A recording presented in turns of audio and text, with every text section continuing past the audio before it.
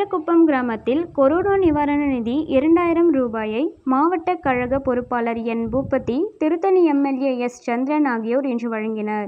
திருத்தணி ஒன்றியம் வீரக்குப்பம் கிராமத்தில் தமிழக முதல்வர் மு. ஸ்டாலின் கொரோனா நிவாரணத் தொகையாக நான்காயிரம் ரூபாய் அறிவித்துள்ளார். இதில் இம்மாதம் முதல் தவணையாக இரண்டாயிரம் ரூபாய் சனிக்கிழமை முதல் ரேஷன் கடைகள் மூலம் விநியோகம் செய்யப்படுகிறது.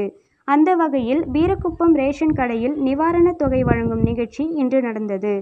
இதில் திமுக மாவட்ட பொறுப்பாளர் M. Boopathi Tiruttani MLA S. Chandran ஆகியோர் பங்கேற்று நிவாரணத் தொகை இரண்டாயிரம் வழங்கும் திட்டத்தை துவக்கி வைத்தனர். தொடர்ந்து டோக்கன்கள் பெற்ற பயனாளிகளுக்கு நிவாரணத் தொகை வழங்கப்பட்டது. நிகழ்ச்சியில் திருத்தணி நகர கழக பொறுப்பாளர் வினோத்குமார் திருத்தணி ஒன்றிய செயலாளர்கள் கிருஷ்ணன் ஆர்த்தி ரவி உட்பட பலர் கலந்து கொண்டனர்.